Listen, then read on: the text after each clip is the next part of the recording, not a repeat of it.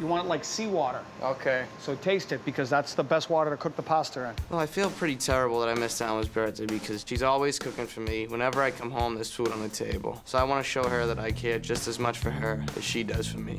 We're making the things that she likes, the garlic bread, you know, pasta with sauce, and, you know, very simple, but it'll all work out really well. All the way in, all the way out. Look, you look like you're trying to tear it apart. No, watch your sauce. It'll burn quickly. You don't have to be that particular. We're just gonna melt it. Hey, you let me do it here, Paul. This is my meal I'm making. He's supposed to be teaching me. And here he is, trying to do everything himself.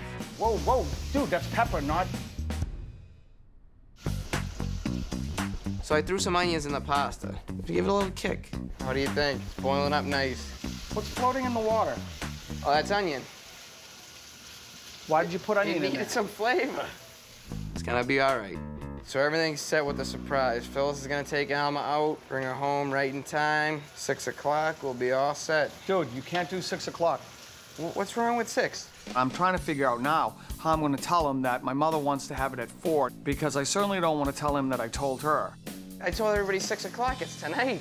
I know it's tonight, but you, you, you gotta see if you can get people there earlier. I'll try. Guest list is gonna be cut short though. It might just be me and you, I think. Now we'll be lucky if the dogs even show up for the party. It's gonna be great. Yeah. Can't wait. Then the surprise on top of it. This is gonna be. Don't worry about the surprise. This is the you and me thing. Brandon's gonna kill me. Let's focus on the food. I gotta go back out front. All right, let's do it.